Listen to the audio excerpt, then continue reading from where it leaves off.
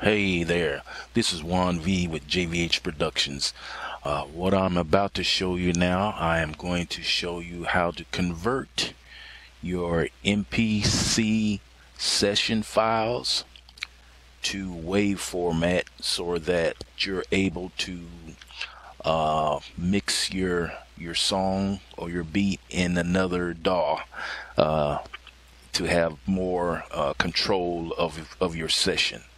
So, um, first of all, here is my main menu, which I already have this song together. Um, here is my song, which is already together, uh, just how I want it to be played. And uh, there's the name of my song. Now, first thing that you want to do uh, is you want to make sure that to have uh, your everything named. Uh, you know, make make sure everything is matching up, uh, like your piano with your pianos and whatever that you have. So it will make things a lot better towards the end if if everything is matched up. Um, so we're going to go back here to my song, and first thing that we want to do is come right here under name your song, name your song, then come right here where it says convert to sequence. Now, first thing you want to do is go ahead, you, then you include your muted tracks or without your muted tracks. I don't have any muted tracks, so I'll just leave it as it is. And the first thing that you want to do is go ahead and have that uh, convert your song session into a sequence so it can be uh, um, so your tracks can be bounced okay then once that's done it's going to leave this one right here this uh, sequence right here. Now next thing you want to do is you want to go back to your main menu uh, where you created your beat. And then just go down here and you're going to see it right here. That's where it's going to lay it at set it up to where that's open. And there is your complete song right here uh, there's your pads. Uh, there are your pads. Now, if you have any audio, uh, like any audio files, they'll they'll be there as well. Okay. Now, what you want to do now is you want to get all of these um, converted. You want to bounce all your tracks and even your your other uh, tracks that you have in there, your other plugins or or programs that you have in there. So what you want to do is you want to go up here and uh, now this is to look yeah I forgot to tell you uh, click it on track view and as you can see this is what you want to do you want to pull it on track view and so that your pads, your drum pads, and any other plugins that you use in that session will show up, and any audio uh, wave files that you use will also show up. These are all the instruments that I used in my session. So now, what you want to do is to get your your your drum pads separated so you have control over those uh, in the mixing. In the mixing, when it's time to mix, what you want to do is you want to highlight your drum pads then you want to go over here to your edit and then go down here to it says tracks and then you want to choose explode. What that's going to do that's going to uh, put your drum pad on on a mute and give each of those drum pads a separate channel. So here we go. And you see it muted the drum pad and it made those um, instruments that's on that drum pad separate tracks. So there were, and it gave me 19 tracks a total now.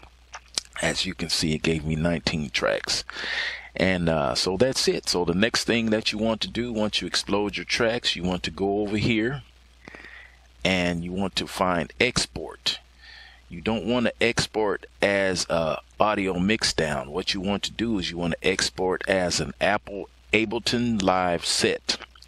Okay, so if you had any uh, sessions, any volume panning or volume control pan settings, you would check this right here. And what this is going to do is going to export all your MIDI data into a wave format. So to wave uh, format. And I usually check this here for mixing, but you can leave it. It'll automatically it'll give you that, but for uh, I, I like to to bounce it like that. And then all you do is just find where you want to bounce it. I've got it set up here. Let me go to where uh, the name of this song. And there is my stems. And let me name my song. Uh,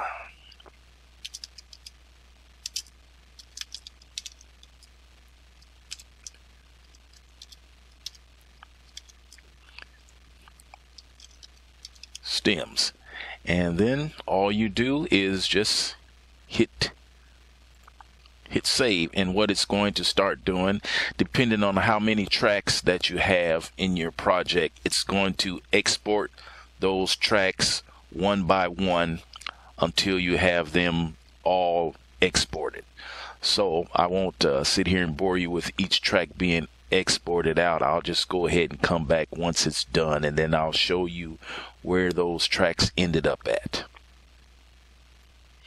Okay, I'm down to my last uh, few tracks to be uh, bounced. Um, there was a lot of tracks in this session, so it it took a while to uh, get these here uh, exported. So now, as you can see, normally it's turning into Ableton Live. I wasn't expecting to see that.